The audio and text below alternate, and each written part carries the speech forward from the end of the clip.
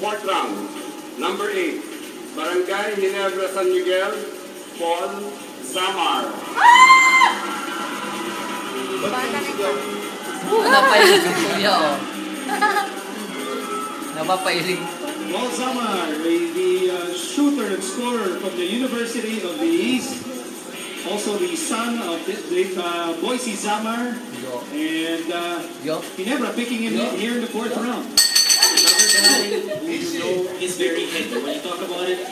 Pagka mo isang coach, sigurado, isa player na nag-iisip and that's what Barangay Ginebra is getting in Paul Zamar.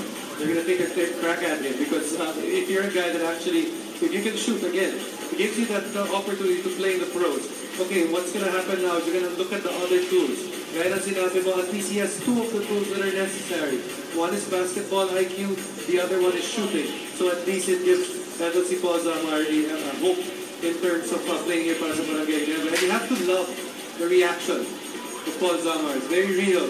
Because when you're in that fourth round already, and you can hear the nightmare word na pass, alam mo that window is closing for you to get, at least your name is the ones that were drafted. Actually, you saw the face of Paul Zamar.